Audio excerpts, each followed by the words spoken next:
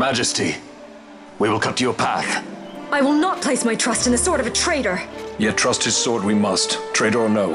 I see no other way. We track back, commandeer a ship, and make our escape.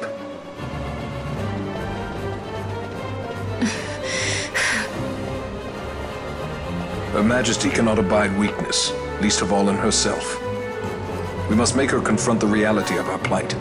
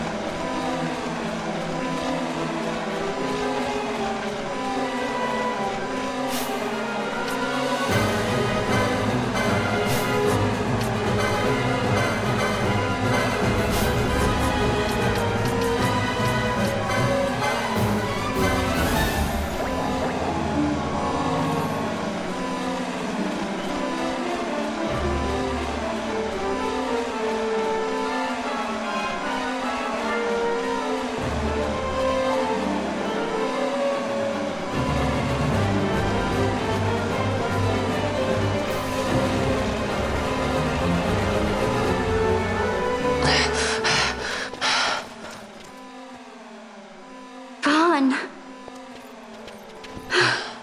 it's okay. We're okay. Ghis knows you've escaped. You must hurry. You are Captain Azelas. You will follow me. We must reach the airships before they do. You would let us leave knowing who we are? Lady Ashe, by all rights you ought not even to exist. That you and Captain Ronsenburg were made to appear dead is like a hidden thread laid bare. Your actions hereafter will pull at that thread, and we will see what it unravels. This is our chance. We must see this through and get to the bottom of it. I believe tis for the good of Dalmasca and the good of the Empire. Very well then. Thanks, Lamont. Uh, I must apologize. Hmm. Penelo, for you. May it bring you good fortune. Thanks. Let us go.